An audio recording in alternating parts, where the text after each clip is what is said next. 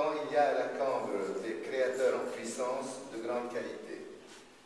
Cette année, après bien des discussions, le jury a choisi de primer Lucas Sponchiali.